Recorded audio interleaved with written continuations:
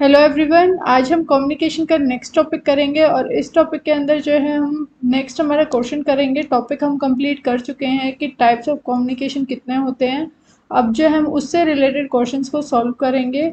आइए अब हमारा फ़र्स्ट क्वेश्चन देखते हैं और अगर आप चैनल पर नए हैं तो प्रीवियस क्वेश्चन को ज़रूर देख लें। और साथ के साथ मैं आपको N T net exam paper one and paper two commerce की टोटली फ्री ऑफ़ कॉस्ट आपको कंप्लीट कोर्स कराऊँगी इसी चैनल पर। सबसे पहले हम क्वेश्चन को समझने की कोशिश करेंगे। हमेशा जो है क्वेश्चन को समझना बहुत ज़्यादा इंपॉर्टेंट है। तो हमारा क्वेश्चन क्या कहता है, आइए देखते हैं।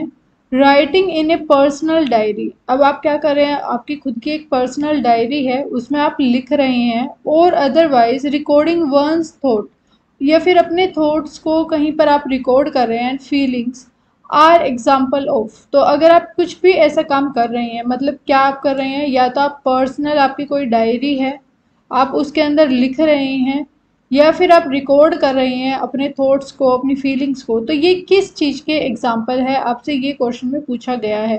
तो ये बहुत ही सिंपल सा क्वेश्चन है हमारा। हमने जो टाइप ऑफ़ कम्युनिकेशन किए हैं और उसके अंदर रिलेशनशिप के बेसिस पे, यानी कि एलिमेंट के बेसिस पे हमारे जो कम्युनिकेशन थे, उनको हमने चार पार्ट्स में डिवाइड किया था। फ़र्स्ट हमारा था इंटर इंटरपर्सनल उससे पहले जो था हमारा इंट्रापर्सनल था। इंट्रापर्सनल इंटरपर्सनल नेक्स्ट जो है group communication and last one is mass communication अब इनमें क्या क्या डिफरेंस था? इंट्रा यानी कि हम अपने आप से बात कर रहे हैं। इंटर यानी कि हम किसी दूसरे इंसान के साथ बात कर रहे हैं और वो पर्सन कौन है? इंडिविजुअल है। ग्रुप के अंदर हम दो से ज़्यादा और दस तक जो लोग होते हैं, यानी कि दस या ग्यारह, बस इतने ही लोगों से हम बात करते हैं। और मास के अंदर यानी कि हम पूरी पब्लिक से बात कर रहे हैं, जैसे कि नेता वगैरह करते हैं या फिर हमारे न्यूज़ चैनल पर न्यूज़ दिखाई जा रही है तो वो कम्युनिकेशन क्या है? पूरी लार्ज ऑडियंस के लिए किया जाता है। तो हमारे क्वेश्चन में यही पूछा गया था सिंपल सा क्वेश्चन है कि आप अगर अपनी जो भी आपके थॉट्स हैं, आपकी फीलिंग्स हैं, आप उनको कहीं पे नोट डाउन कर रहे हैं या आपको आप उनको रिकॉर्ड कर रहे हैं कहीं पर भी।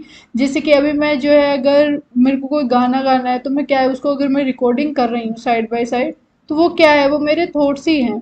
तो थॉट्स को अपने जो है रिकॉर्ड करना या फिर कहीं पर लिख देना तो उसको हम क्या कहेंगे? फ़र्स्ट ऑप्शन हमारा आता है mediated intrapersonal communication next option आता है mediated interpersonal communication next one is mediated mass communication and last one is none of the above इनमें से कोई भी नहीं।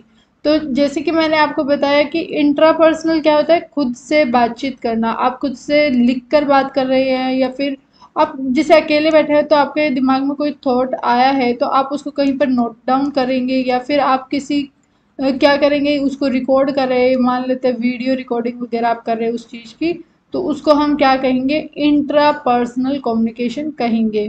उसका ऑप्शन क्या होगा हमारा? इंट्रा पर्सनल कम्युनिकेशन हम उसको कहेंगे। ये हमारा करेक्ट ऑप्शन है। इंटरपर्सनल क्यों नहीं हुआ? क्योंकि यहाँ पे दो लोगों के बीच में बात होती है। मास कम्युनिकेशन यहाँ पे लार्ज ऑडियंस होती है वेरी लार्ज ऑडियंस होती है। इस वजह से जो है ये ऑप्शंस गलत है और नन ऑफ़ द ऑप्शन हमारा, क्योंकि पहले ही हमें पता है इंटरपर्सनल में खुद से हम बातें करते हैं। तो ये हमारा आज का क्वेश्चन था। अगर आपको कोई डाउट है तो कमेंट में ज़रूर पूछें। And thanks for watching